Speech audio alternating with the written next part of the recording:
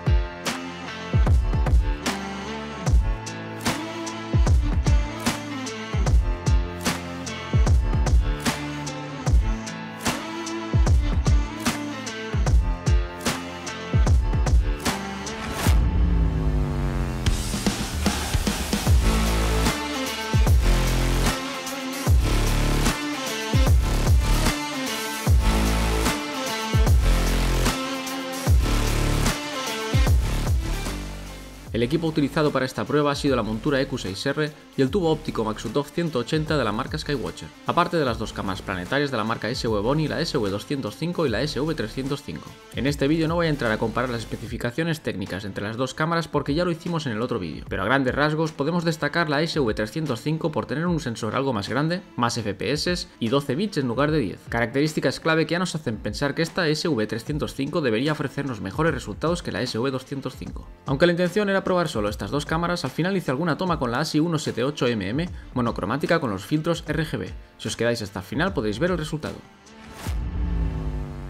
Para empezar, debemos entender que si queremos obtener los máximos FPS que nos puede ofrecer la cámara deberemos tener la exposición controlada y lo más baja que podamos, pues no podrá darnos 100 fotogramas por segundo si le ponemos de exposición 500 milisegundos, o lo que es lo mismo, medio segundo. Entonces cada segundo solo nos podrá dar 2 fotogramas. Otro factor que influye es la resolución. Cuanto menos resolución le pongamos, más FPS obtendremos. Luego ya se trata de ir jugando un poco con los ajustes básicos que nos da el programa SharpCap para buscar una correcta ganancia y demás. Esta noche, aunque el signo parecía ser malo del todo, había un jet stream muy alto. Esto lo podéis encontrar en la web de MeteoBlue, os dejo el enlace en la descripción. Creo que debido al jet stream y a la dificultad que encontré para tener el punto bueno de enfoque, no vamos a poder ver todo el rendimiento que podemos obtener de estas cámaras, pero igualmente podremos observar algunas diferencias. A la hora de obtener imágenes, la SV205 nos da como unos reflejos se puede corregir en edición posterior, pero ya de primeras molesta un poco. La SV205 también la podemos catalogar como de ocular electrónico más que de cámara. Aunque podemos grabar y sacar fotos, quizás está más pensada para poder hacer observación en directo a través de la pantalla y así no tener que estar con el ojo pegado al telescopio. Mientras la SV305 con su sensor IMX290 dispone de unos FPS elevados y la posibilidad incluso de hacer exposiciones de más de un segundo. Aunque no muestra esos molestos reflejos, nos da como un tono más amarillento o verdoso y muestra lo que de primeras parece más ruido y menos definición. Recuerdo que el tamaño del píxel de la SV205 es el más pequeño que he visto en el mercado, de tan solo 1,4 micras, mientras la SV305 tiene los píxeles de 2,9 micras, aproximadamente el doble.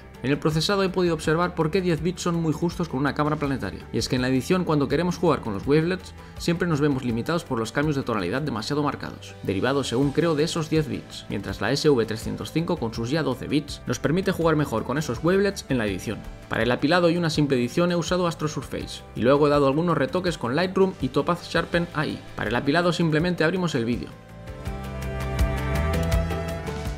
Vamos a registrar. Le decimos que detecte el área del planeta Hacemos doble clic en el planeta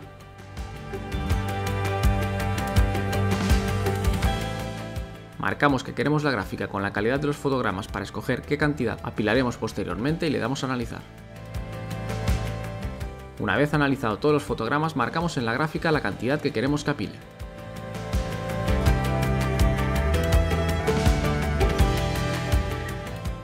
Marcamos OK, vamos al método de alineamiento, aquí podemos dejar en global si son imágenes de mala calidad o baja resolución, y multipunto si es un objeto grande y con definición. En este caso he escogido por esta opción. Automáticamente marca los puntos en el planeta y ya solo nos queda ponerle un nombre de archivo y darle a Stake.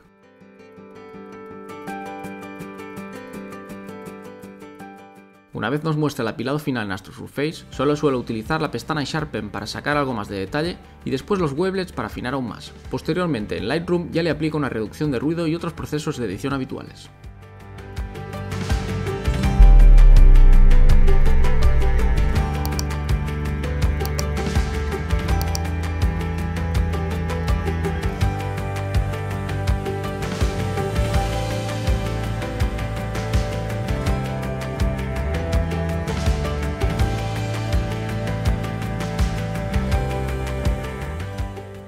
Si usas otra ruta o sabes cómo conseguir mejores resultados, no te estés de escribir en los comentarios, que aquí aprendemos todos. Yo lo hago así y no tiene por qué ser la mejor manera. Es más, estoy seguro que hay mejores. Así que no te cortes. En la prueba con estas dos cámaras no he usado ningún filtro ni lente de Barlow para evitar cualquier efecto que estos pudieran tener y así ver el resultado que da al natural con la focal nativa del Mac 180 con sus 2700 mm. Y lo que veréis son el resultado de vídeos de 2 minutos intentando mantener la exposición lo más baja posible. He querido sacar el máximo detalle de los planetas, sobre todo en Júpiter que es donde más detalles podríamos buscar, pero debido al jet stream, o eso es lo que creo, me ha resultado imposible sacar mejor resultado. Incluso podéis observar esa doble piel en los bordes en la foto del SV205, pero era como podía sacar los detalles aunque sea mínimamente de la mancha roja y sus nubes que la envuelven. Como he dicho antes, la SV305 nos ha dado más margen de edición, pero desgraciadamente no hemos obtenido buena definición en los detalles de Júpiter, aunque podemos diferenciar las bandas centrales y la mancha roja. En Saturno nos hemos encontrado con más de lo mismo, pero ahí sí que la SV305 nos ha dado algo más de definición, pudiendo observar la división de Cassini en sus anillos e incluso el cambio de tonalidad en la atmósfera del planeta. Respecto al Maxutov 180 he de decir que ahora quizás no me lo compraría, pues para aprovechar todo su potencial necesitamos un sync excelente y eso pocas veces se da, por lo que igual un 150 o incluso un 127 serían ya muy buenas opciones a tener en cuenta y más económicas. Con estas cámaras podemos decir que disponemos de cámaras de iniciación para poder empezar a dar nuestros primeros pasos en astrofotografía planetaria, aunque la SV205 la usaría más como ocular electrónico y la SV305 más para astrofotografía planetaria y lunar. Como habéis podido ver en los vídeos, los planetas caben bien en el sensor, incluso si pusiéramos lavarlo. Pero disponer de sensores tan pequeños a veces dificulta bastante poder encontrar el planeta, ya que en muchas ocasiones lo tenía centrado en la cruceta de mi buscador, pero en el sensor en la pantalla no aparecía el planeta, teniendo que buscar por los alrededores hasta dar con el punto exacto. Un truco que podemos hacer es desenfocar un poco. Así el halo de luz se expandirá y quizás lo veamos más rápido aparecer por alguna esquina y así poder encontrar mejor el planeta. No debemos perder de vista que estas cámaras tienen precios muy competitivos para los que se inician. Y no me gustaría que compararais los resultados con el Júpiter que voy a mostraros, obtenido la misma noche con una cámara ZWO, concretamente una ASI 178 mm, una cámara monocromática con rueda portafiltros y filtros RGB. Solo la rueda portafiltros ya vale el doble que la cámara SV305. Aquí he tenido que hacer tres vídeos de dos minutos, uno por cada canal de color, y posteriormente apilar y procesar como hacía antes, pero esta vez por cada canal para después en WinJupos, que es otra aplicación, juntar los canales y derrotar la imagen debido a la rápida rotación que tiene Júpiter. No solo es material más caro, sino que el proceso de captura y procesado también es más complicado. Por lo que para empezar a familiarizarnos con la astrofotografía planetaria, estas a color como la SV305 son muy buenas opciones.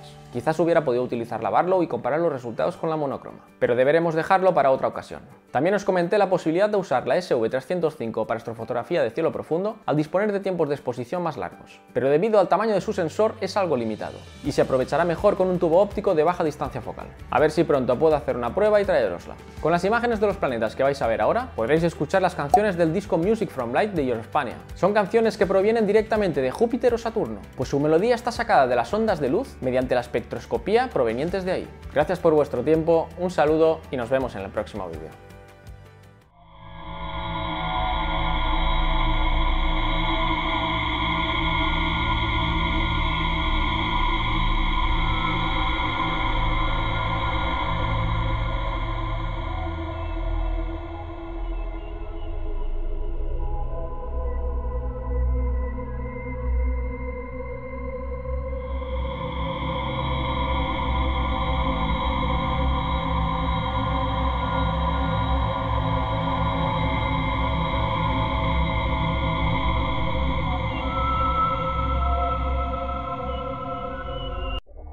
Thank